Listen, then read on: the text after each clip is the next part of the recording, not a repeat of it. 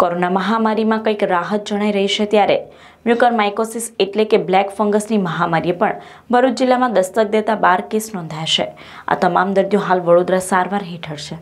સમગ્ર રાજ્યમાં કોરોના સંક્રમણના ઘટતા પ્રભાવ વચ્ચે મ્યુકર માઇકોસિસ મહામારીએ ચિંતા પેદા કરી છે.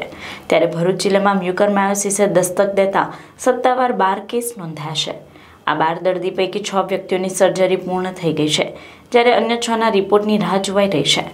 કોરોના બાદ હવે બ્લેક ફંગસ મ્યુકર માઇકોસિસના કેસોમાં વધારો જોવા મળી રહ્યો છે. બ્લેક ફંગસને કોરોના બાદ બીજી મહામારી સરકારે જાહેર કર્યા બાદ સમગ્ર રાજ્યમાં દિન પ્રતિદિન આ કેસમાં ઉછાળો આવી રહ્યો છે. ભરૂચ જિલ્લામાં પણ મ્યુકર માઇકોસિસના હાલ સુધીમાં સત્તાવાર બાર કેસ નોંધાયા છે. આ તમામ દર્દીઓને વડોદરા ખાતે સારવાર હેઠળ છે. બ્લેક ફંગસે સમગ્ર રાજ્યમાં કોરોના બાદ હવે તેજીથી ફૂંફાળા મારી રહ્યો છે.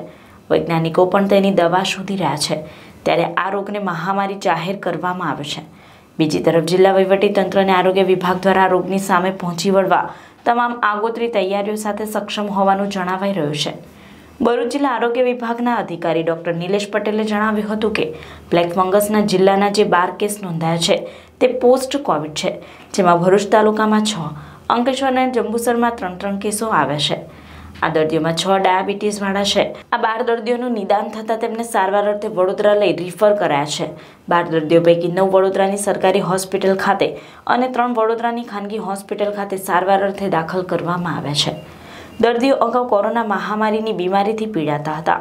કોરોનાથી સાજા થયા બાદ મ્યુકોર માઇક્રોસિસની બીમારીના લક્ષણ જણાયા હતા. આ બાર દર્દીઓ પૈકી સાત પુરુષ અને પાંચ મહિલાનો સમાવેશ થાય છે. આ દર્દીઓમાં ત્રીસ વર્ષથી પચાસ વર્ષ સુધીના છ દર્દીઓ અને પચાસ વર્ષ કરતાં વધુ વય ધરાવતા છ દર્દીઓ જણાયા છે. જિલ્લામાં કેસો વધતા જિલ્લા આરોગ્ય વિભાગ પણ સતર્ક થઈ સિવિલ હોસ્પિટલમાં સ્પેશિયલ મ્યુકર માઇકોસિસ વોર્ડ કાર્યરત કરવાની તૈયારીઓ હાથ ધરી દેવાઈ છે. કોવિડ હોસ્પિટલોમાં કોરોના દર્દીઓ વચ્ચે contactless patient to patient treatment અત્યંત જરૂરી છે. કોરોનાની સારવારમાં અપાતા સ્ટીરોઇડ સાથે ડાયાબિટીસના દર્દીઓને તેનું જોખમ વધુ રહેશે. સ્વસ્થ અને હાઇજેનિક વાતાવરણ ખૂબ જ જરૂરી છે.